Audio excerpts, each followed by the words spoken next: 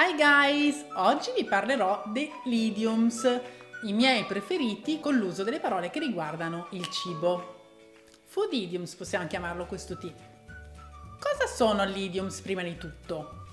Sono dei modi di dire, modi di uso comune come abbiamo noi in Italia, anche in inglese ce ne sono veramente tanti, centinaia e centinaia che anche gli stessi inglesi a volte non sanno, non ricordano. Quindi in questo video vi ho riassunto alcuni dei più importanti, ma soprattutto quelli che a me piacciono di più, che riguardano eh, l'argomento cibo. Tenete presente che il cibo non c'entra nulla in questi idioms, però viene utilizzato per dire qualcosa che ha un significato nettamente diverso rispetto alla parola letterale. Quindi se voi andate a cercare parola per parola, vi dice qualcosa che riguarda il cibo, ma invece nell'insieme il significato è tutt'altro. Iniziamo con il numero uno, number one. A piece of cake vuol dire un qualcosa di semplice e facile da fare.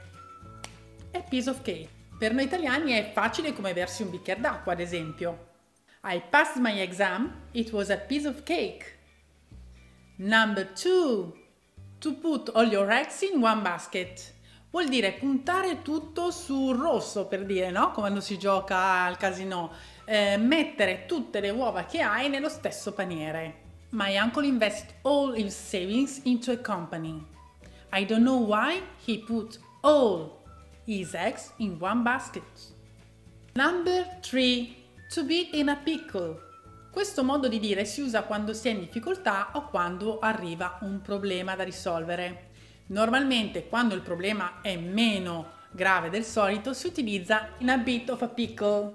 We are in a pickle abbiamo un problema, siamo messi male, ok? Oppure I have just locked my keys in a car. O ancora I'm in a bit of a pickle. I forgot my glasses. Number 4 To bite of more than can chew vuol dire fare il passo più lungo della gamba. She's bitten off for more than she can chew, ad esempio. Quindi ha fatto il passo più lungo della gamba. Number 5 To battle someone up vuol dire arruffianarsi qualcuno per ricevere qualcosa. Ad esempio, if we batter him up, he might offer it us. Number 6.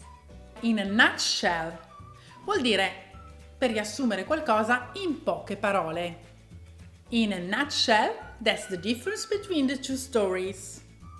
Bene, questi sono i miei idioms preferiti relativi a vocaboli sul cibo. Se ne conosci qualcuno di diverso, di nuovo, scrivilo pure qui sotto nei commenti e lo condividiamo insieme. E se non sei ancora registrato al canale, ti invito a cliccare su iscriviti e ad attivare la campanella in modo da non rimanere indietro con i nuovi video in uscita. Intanto, I will see you next time. Bye Grace!